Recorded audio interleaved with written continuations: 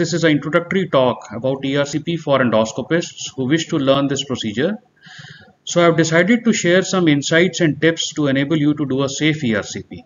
I'm going to speak about 1A, 2Bs, 3Cs and 4Ds and thus give you 10 tips for safe ERCP.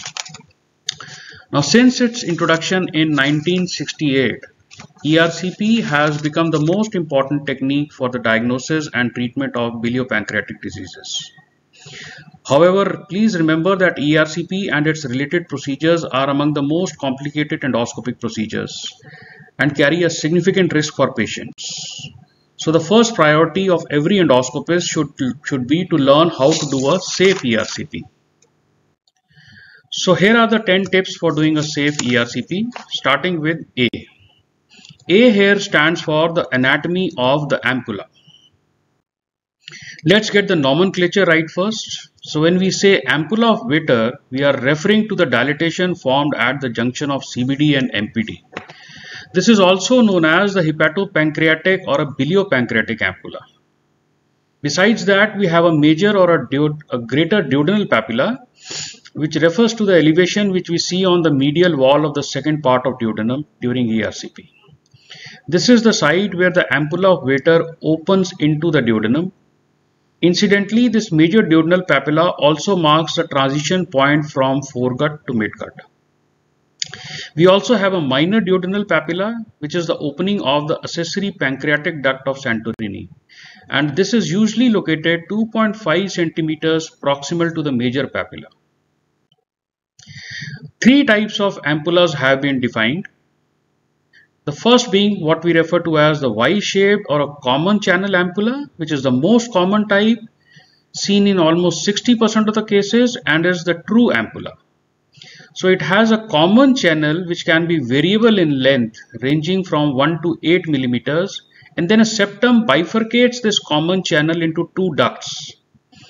So remember during ERCP the principle of selective cannulation particularly CBD cannulation is to get above this septum that divides the common channel and thus avoid entering into the pancreatic duct.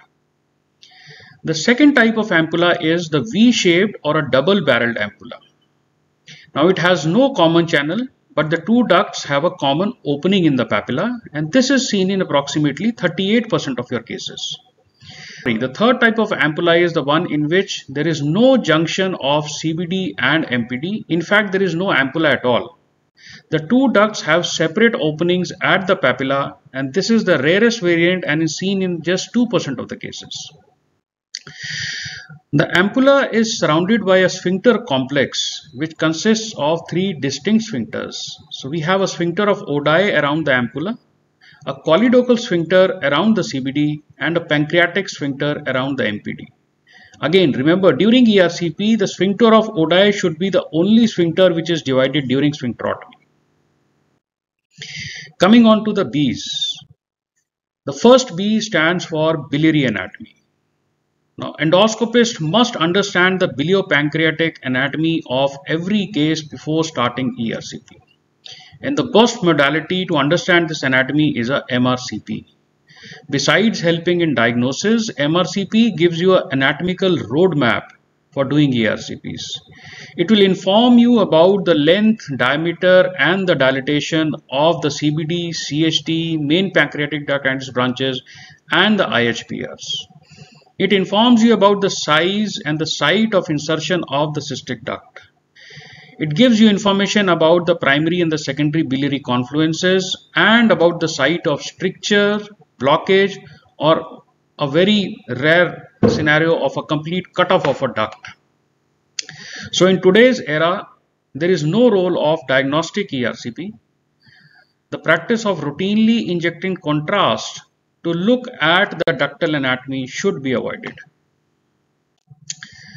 The second B stands for bile duct access. So during ERCP, when you are in the second part of the duodenum and you are in front of the papilla, spend some time there, maintaining a respectful distance. Do not rush to cannulate. So before you attempt to cannulate, try to mentally visualize the axis of the ducts in three dimensions. So this helps you decide the direction in which you are going to advance the catheter or the sphincterotome for cannulation. So please remember to take a good aim before you take a shot. If the target is the CBD, then remember that the intraduodenal part of CBD is aligned at 11 o'clock position and you must orient the catheter tip towards the 11 o'clock position to cannulate the CBD and to do a subsequent sphincterotomy. If the target is the pancreatic duct, then remember that the pancreatic duct is aligned along 1 o'clock position and hence you must orient the catheter between 1 and 3 o'clock position to cannulate the MPD. Coming on to the three C's. The first C stands for cannulation. Now cannulation is the most important step of ERCP.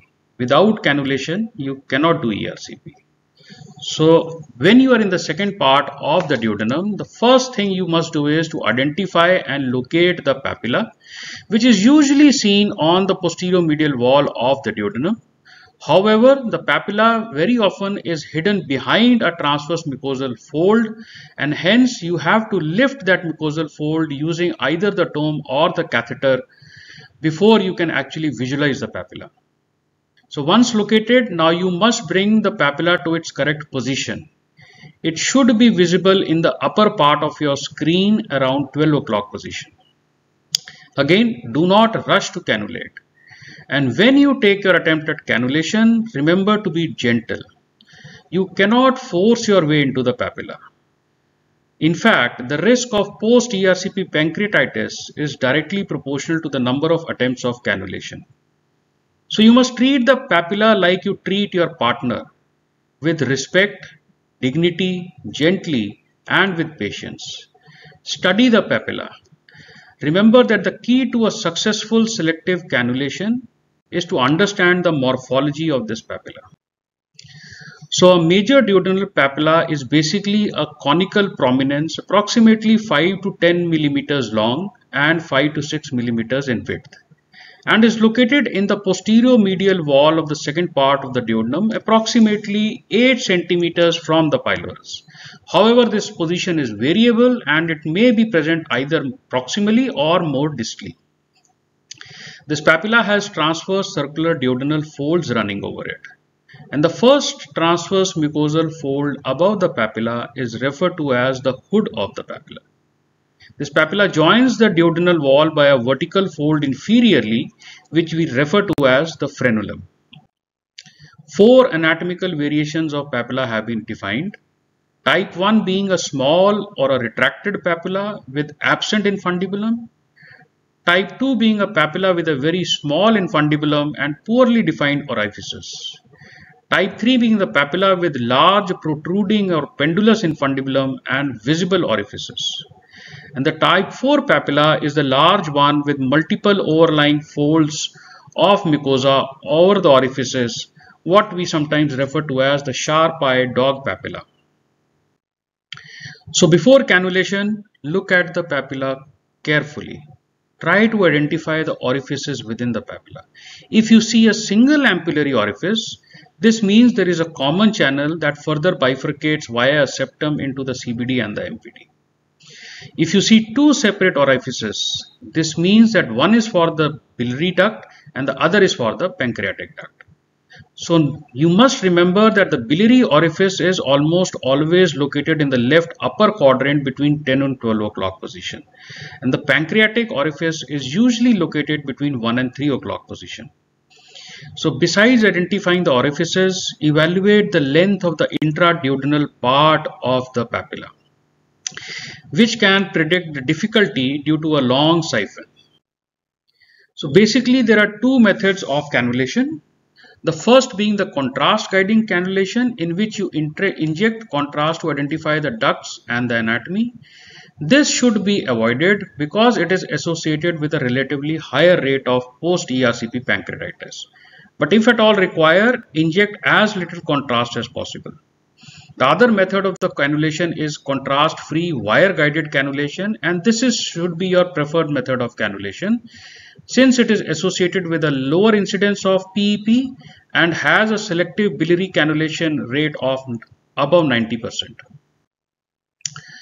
Cannulation may be difficult for various reasons, such as the presence of a periampullary diverticula, tight distal CBD strictures, stone impacted at the distal end of the CBD, presence of ampullary lesions, and so on and so forth. So a difficult CBD cannulation is defined as the cannulation of a native papilla.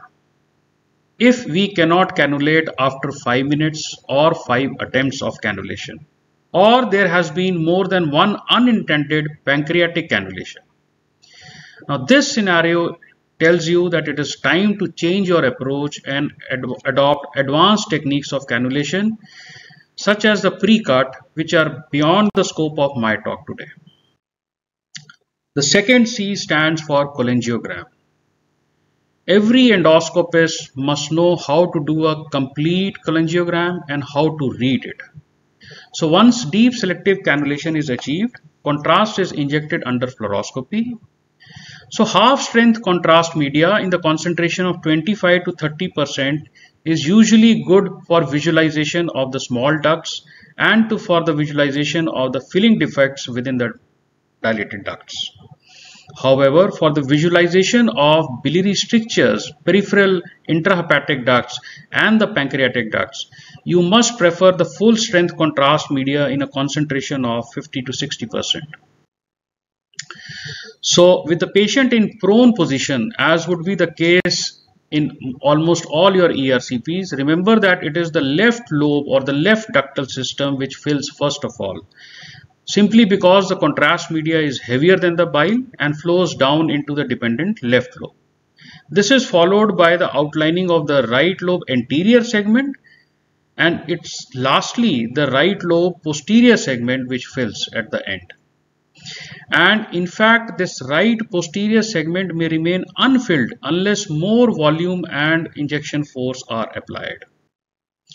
So if you look at this slide, the picture on the left side appears to be a complete cholangiogram with both the left and the right duct systems outlined. However, only when the patient is tilted another 20 degrees head down and more volume of contrast was injected, the actual, the real right ductal system became obvious and was outlined by the contrast. So the correct interpretation of the cholangiogram is very important. When you are looking at a cholangiogram, you must look for the complete outlining of the biliary tree, including the bilateral IHBRs. Look for any filling defects within the ducts which indicate either a stone or a stricture disease. Look for any spill of the contrast which would indicate a leak. And lastly, look for the free spill into the duodenum and the outlining of the second part of the duodenum. A few tips regarding cholangiogram. The diameter of the CST and the CBD on ERCP commonly appears to be 2 to 3 millimeters greater than that seen on a CT scan or ultrasound. But this is simply because of the ductal system being filled with the contrast under pressure. Remember to place the duodenoscope in a long position for inspecting the middle portion of the bile duct since this is often obscured, obscured by the superimposed instrument shaft. And lastly, balloon occlusion cholangiograms. They allow for a greater precision and control of contrast introduction. Now coming on to the third C which stands for the cut or sphincterotomy. So once you have cannulated, once you have done your cholangiogram, now it is time to do the sphincterotomy. So before you start doing the sphincterotomy, decide the direction and the depth of the cut.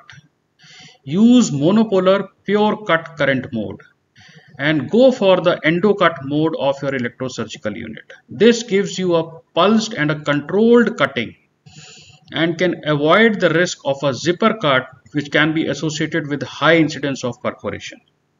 Remember to cut in the safe zone which is the area of least vascular density around the papilla and is usually located between 10 and 12 o'clock position. Once in a while, you may require to do a pre-cut or a needle knife sphincterotomy. This technique needs a little bit of learning, so learn how to do a safe pre-cut. Coming on to the 4 Ds. The first D stands for the direction of the sphincterotome during cannulation. So for CBD cannulation, the sphincterotome should be directed from below upwards and again directed to 11 o'clock position. For pancreatic duct cannulation, you must direct the sphincterotome straight forwards from the left to the right side and it should be directed to 1 o'clock position. The second D stands for diverticula. Duodenum is the second most common site of GI diverticula after the colon. And the most common location of duodenal diverticula is the periampullary region. Now they are called periampullary when they are located within 2 to 3 centimeters of the ampulla. Now they are seen in 10 to 15% of the cases who undergo ERCP. However, this incidence increases with age. But in most cases, they are asymptomatic and are incidentally diagnosed on ERCP. Based on the location of the papilla in relation to the diverticula, three types of papilla have been identified. Type 1 being where the location of the papilla is within the diverticula and the papilla may be located anywhere within the diverticula now. It, it could be relate, uh, it could be on the left side, right side, the upper or the lower part of the diverticula. Type 2 periampullary diverticula are those in which the location of papilla is on the edge of a diverticula. And then we have a type 3 where the diverticula itself is located 2 to 3 centimeters away from the papilla. Type 3 being the most common and type 1 being the rarest. The third D stands for devices. The endoscopist must know your scope and the accessories which you are going to use. So a duodenoscope has some additional features such as an elevator and it is a side viewing scope. So you must be familiar with the working of your side viewing scope when you're doing a ERCP. You must have this entire list of accessories available in your inventory. You must have all the different kinds of guide wires, sphincterotomes, different sizes of biliary balloons, different sizes of CRE balloons, dormias, and the occasional lithotripter when you are going to need when you are going to tackle a large stone. The fourth D stands for deferring the procedure.